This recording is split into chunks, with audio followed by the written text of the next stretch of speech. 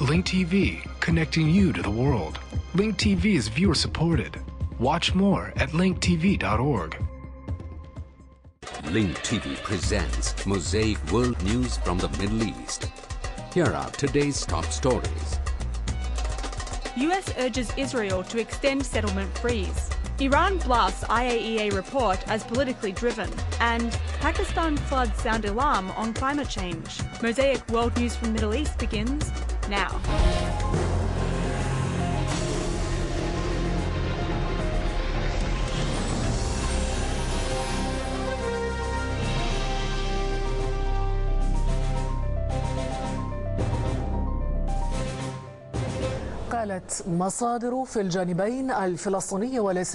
Palestinian and Israeli sources said that the U.S. administration has proposed the extension of the settlement moratorium for three additional months to give the demarcation of borders a chance.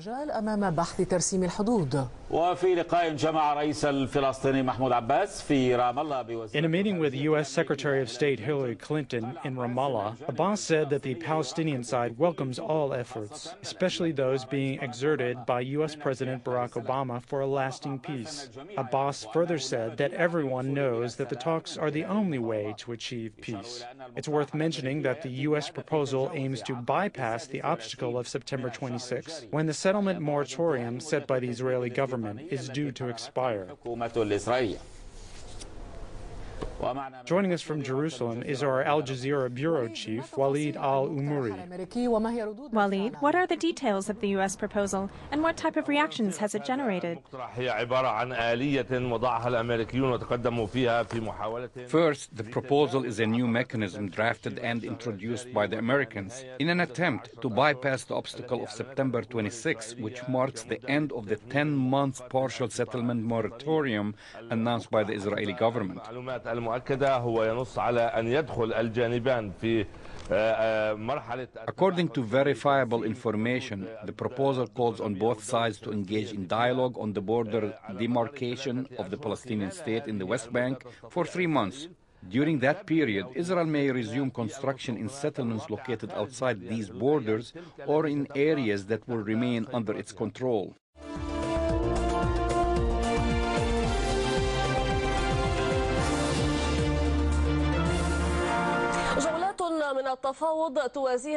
A new round of talks was followed by a new round of Israeli airstrikes and met by a barrage of missiles launched from the Gaza Strip. Israeli warplanes carried out pre dawn raids in the Gaza Strip, striking several Palestinian targets, including a Hamas training base and a factory in the south. There have been no casualty reports.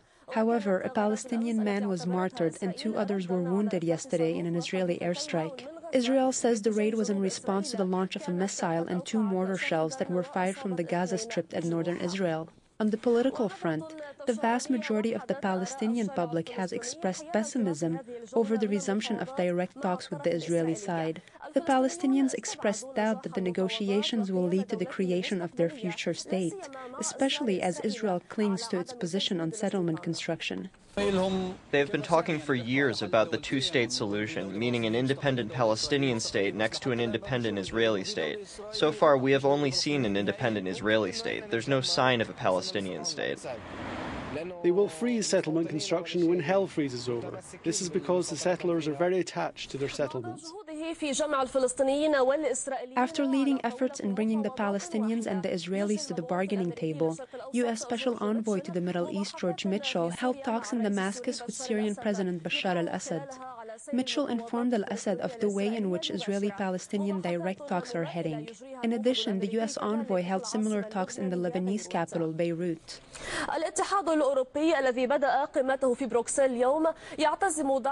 The European Union, which launched today its summit in Brussels, plans to urge Israel to extend its settlement moratorium, which is due to expire on September 26. The EU said in its final statement that the summit leaders will urge Israel to take steps to achieve peace, not only with the Palestinians, but with Syria and Lebanon as well.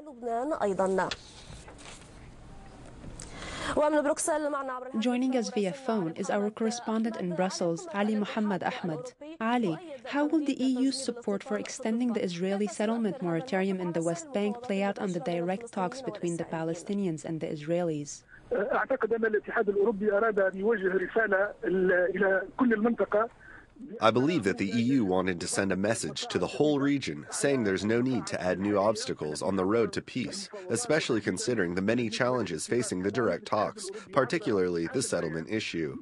The EU, through its final statement, is seeking to renew its commitment to sharing responsibilities in the region. Also, the EU is trying to reclaim its position among the leading powers, including the US, which is trying to marginalize the EU's role in the region. Israel has rejected acknowledging the EU's position or accepting it as a partner in the peace process. The EU was careful to draw attention to the situation in Gaza, saying that the status quo must be changed. It also proposed opening other channels of dialogue in the region, mainly with Syria and Lebanon.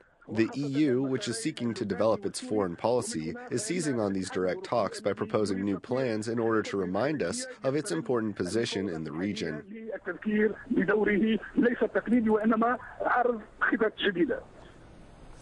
Our correspondent Ali Muhammad Ahmed, thank you for joining us from Brussels. On the ongoing peace process, His Majesty reiterated that a two-state solution remains the only way to realize an independent and viable Palestinian state that enjoys security and peace side by side with Israel.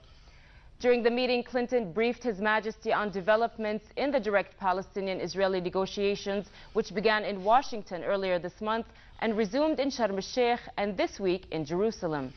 His Majesty valued the U.S. administration's efforts to resolve the Palestinian-Israeli conflict and arrive at a two-state solution. He also stressed on the need for the United States to continue to assume a leading role to ensure progress in the ongoing negotiations. Following her meeting with His Majesty the King, the U.S. Secretary of State held a joint news conference with Foreign Minister Nasser Judeh. Clinton praised Jordan's unwavering commitment to peace in the region and commended His Majesty the King's efforts to help advance Arab-Israeli peace efforts. The U.S. Secretary also hailed Jordan's contribution to peacekeeping efforts in different parts of the world and pledged the U.S. continued assistance to Jordan to carry out developmental projects. I also thank the government and people of Jordan for your efforts uh, on behalf of peacekeeping missions around the world where Jordan has proven time and time again to be a force for peace and progress. And of course, as Nasser said, Jordan is a crucial partner working to end the Israeli Palestinian conflict and bring a comprehensive peace to the Middle East. We were honored to host uh, King Abdullah II in Washington as these talks got underway. And I want to publicly thank him, as I privately have, for his contributions uh, both to the resumption of direct negotiations and to the constructive beginning uh, that has occurred. Jordan's steadfast support for this process is essential. And today, His Majesty and I uh, discussed ongoing negotiations, and I expressed my confidence that Prime Minister Netanyahu and President Abbas can make the difficult decisions necessary to resolve all of the core issues within one year.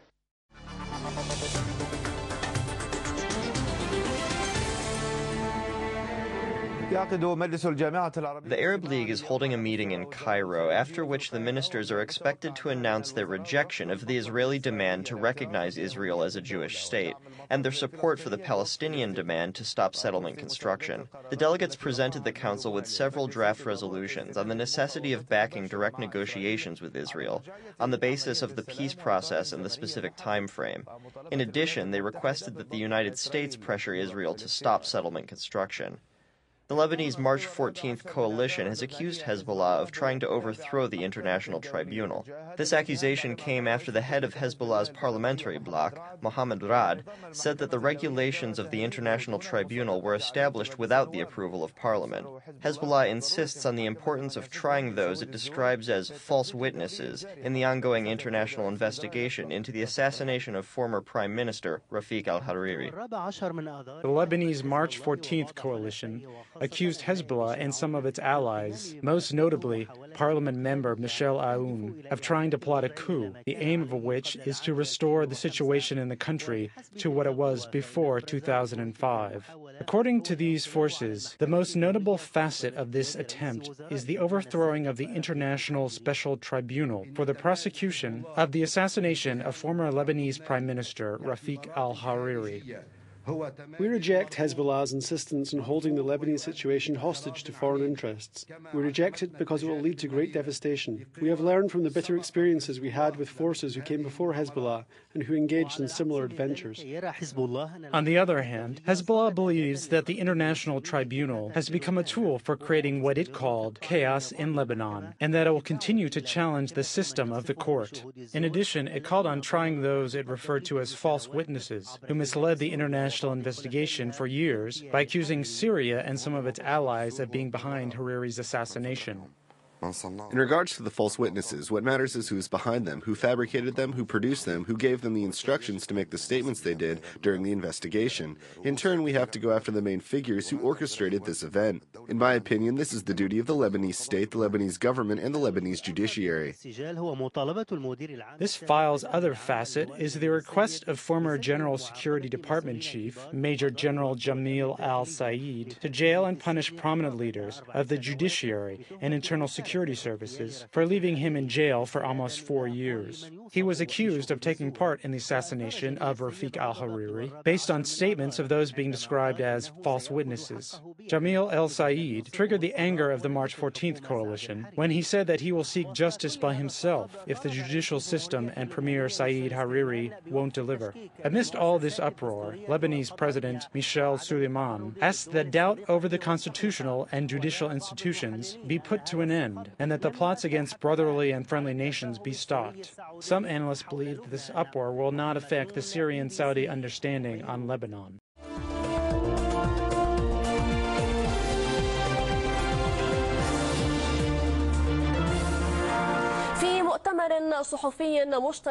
In a joint press conference with his Pakistani counterpart in Islamabad, Afghan President Hamid Karzai said that restoring peace in both countries requires the opening of dialogue with the Taliban as opposed to military action. Karzai's visit comes as U.S. forces continue to pound Taliban positions in the state of Waziristan. In its latest military escalation, U.S. drones carried out airstrikes against the Taliban, killing more than 12 armed fighters, as confirmed by Pakistani security sources. Mahbub Khudr reports from Islamabad. One eye is focusing on the elections and security, while the other is maintained on the Taliban and the success of dialogue with them. These are some of the issues occupying the agenda of Afghan President Hamid Karzai during his visit to Pakistan. The visit comes amidst stormy relations, strained by doubt and mistrust between the two sides. The two sides are in disagreement over the Taliban and its growing influence across their territories, which prompted them to call for dialogue with the Taliban.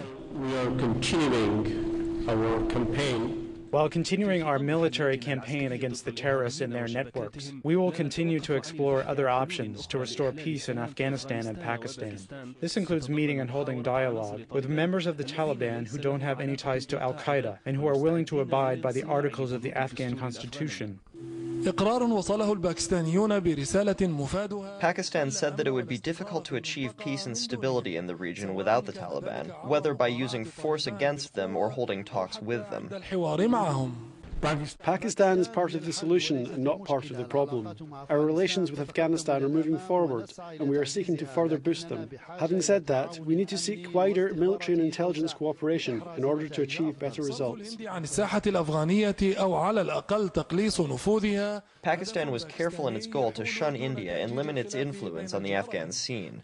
Meanwhile, Karzai acknowledged the importance of Islamabad in any foreseeable political settlement with the Taliban.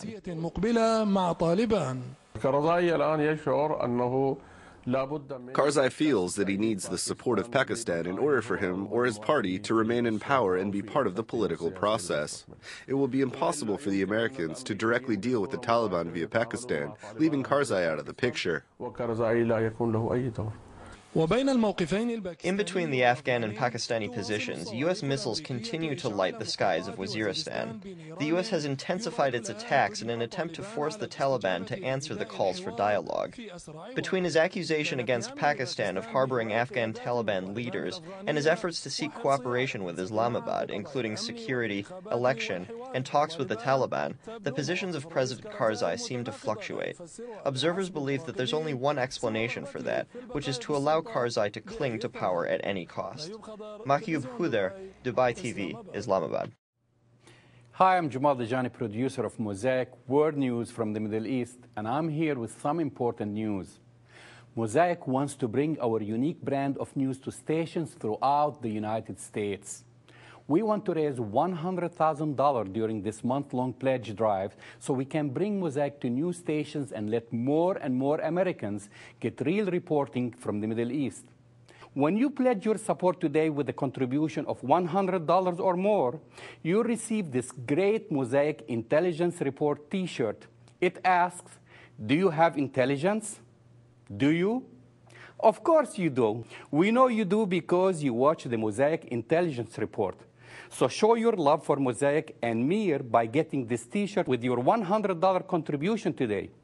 If you step up your contribution up to $1,000 today, you'll get the ultimate Mosaic fan experience and have lunch with me.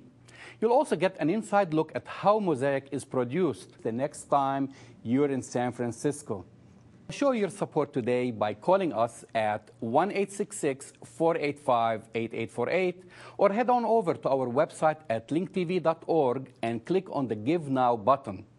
Show your support today and help keep this unique and thought provoking program on the air. Thank you.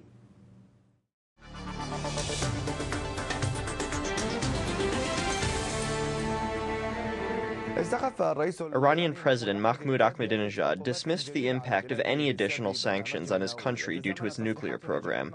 Ahmadinejad's statements coincided with the growing dispute between Tehran and the International Atomic Energy Agency, the IAEA, over Iran's refusal to allow two agency inspectors from inspecting its sites.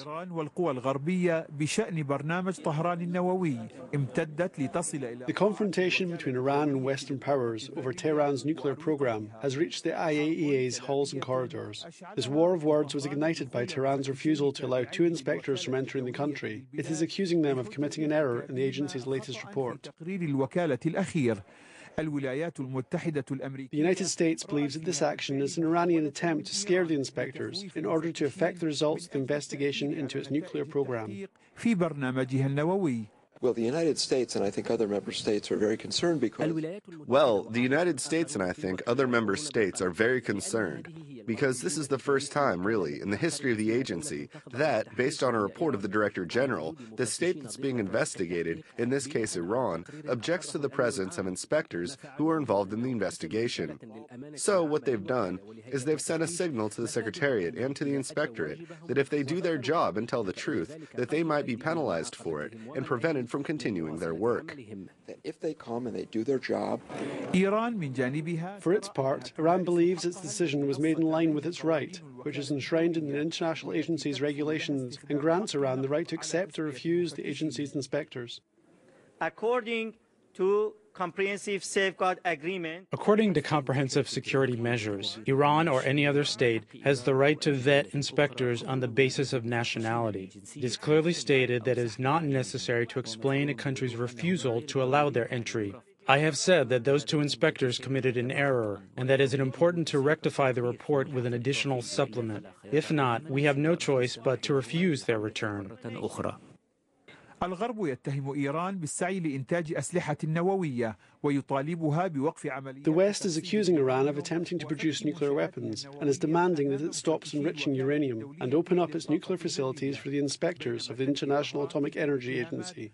Meanwhile, Tehran denies these accusations and says that the intent of its nuclear program is peaceful. It insists that it aims to generate electricity, which will be used for medical and agricultural purposes. Tehran's insistence on moving forward in its enrichment activities pushed Western powers to impose a new round of sanctions on the country in June 2010. جديدة من العقوبات عليها في حزيران يونيو الماضي كما أن التقرير الأخير للوكالة In addition, the agency's latest report indicated that a number of seals placed by the inspectors on Iran's stockpile of low enriched uranium had been broken, and that the production of enriched uranium has increased by 15% despite the international sanctions. The inspectors considered what is happening between Iran and the West as a challenge to the United Nations resolutions and the international sanctions.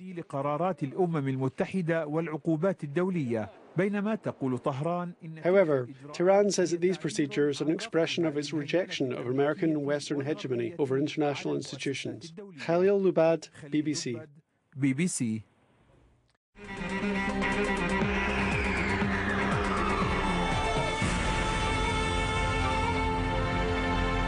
قال خبراء في مجال البيئة إنه وفي الوقت الذي تتراجع فيه Environmental experts say that as mortality rates due to natural disasters continue to decline, climate change is threatening to increase their occurrence due to extreme climate conditions and the effects associated with them, such as the spread of diseases and malnutrition.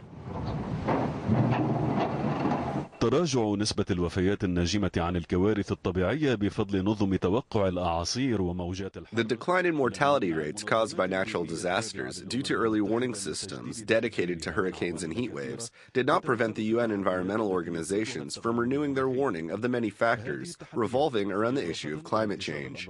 These challenges, along with the spread of disease, malnutrition, drought, wildfires, rising temperatures, floods, mudslides, and rising sea levels, call for the doubling of international efforts in order to reduce their risks, most notably the real threat facing world population, which is expected to increase to 9 billion by the year 2050.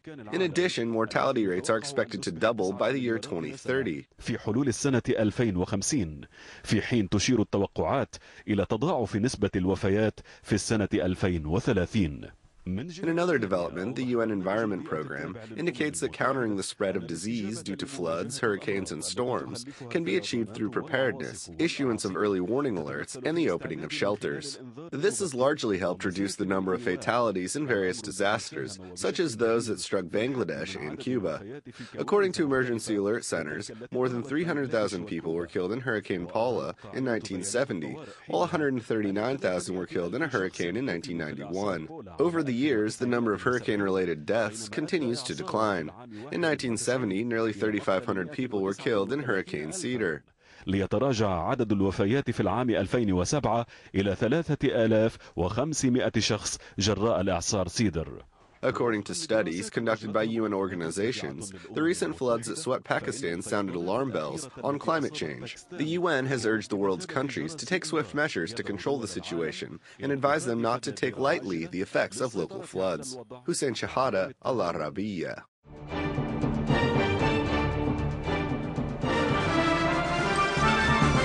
كشف المستشار الاقتصادي في الحكومة العراقية Salam Yassin, an economic advisor to the Iraqi government, said that Baghdad has formed a ministerial committee to discuss its numerous outstanding issues with Erbil, most notably oil and gas exports. The issue, which recently caused uproar in Baghdad, has strained relations between the two sides. Meanwhile, Iraqi Ministry of Oil spokesman Asim Jihad said that disputes between the Kurdistan Regional Government, the KRG, and the Iraqi government remain unresolved. Jihad further said that improving relations between the KRG and the Iraqi government will increase the country's overall crude oil exports due to their joint efforts. On the Baghdad-Erbil line, a sign of breakthrough in the oil crisis started to appear on the horizon. The oil crisis is straining relations between the central government of Baghdad and the Kurdistan regional government of Erbil. Salam Yassin, an economic advisor to the outgoing Iraqi government, said that they have formed a ministerial committee to discuss the outstanding issues between Baghdad and Erbil. Yassin said that the committee will discuss numerous issues with the KRG most notably gas and oil exports, which have recently caused uproar in Baghdad. He added that the committee will soon start its work to resolve the differences over KRG's gas exports, the constitutionality of which is being challenged by the Iraqi Ministry of Oil. In another development, Iraqi Ministry of Oil spokesman Asim Jihad said that disputes between the KRG and the central government remain unresolved. Jihad further said that improving the relations between the KRG and the Iraqi government will increase the country's crude oil exports due to joint efforts. The relations between Baghdad and Erbil took a turn for the worse when the Iraqi Ministry of Oil said it will export oil exclusively via the SOMO company, rendering all contracts signed with the Ministry of Natural Resources in the Kurdistan region unconstitutional. However, the KRG said that such a move by Baghdad undermines the supreme interest of the nation. In an attempt to attract more international companies to the private sector, Iraq has eased requirements facing international oil companies, which took part in the third bidding round to develop three gas fields, namely Mansouriya, and Siba in Basra. Work at these three fields is set to begin in early October. Under the new terms, the winning companies don't have to pay large sums of money upon signing contracts. The international companies have paid between 100 and 500 million dollars in the first two rounds of bidding. Experts believe that Iraq's decision to ease the bidding requirements is part of the ongoing efforts to raise gas production to its maximum level. Under the new terms, the winning companies can export 50% of their production of natural gas, with the other 50% getting allocated to the Iraqi government. The Iraqi Ministry of Oil plans to increase the level of oil exports to more than 12 million barrels a day, which has been approved by OPEC. The views expressed on Mosaic are from contributing broadcasters, not Link TV or its sponsors. The production of Mosaic is made possible from support of viewers like you. Thank you. Watch Mosaic World News online. Stay up to date with breaking news. Read our blog. Get transcripts of past shows and more at linktv.org slash mosaic.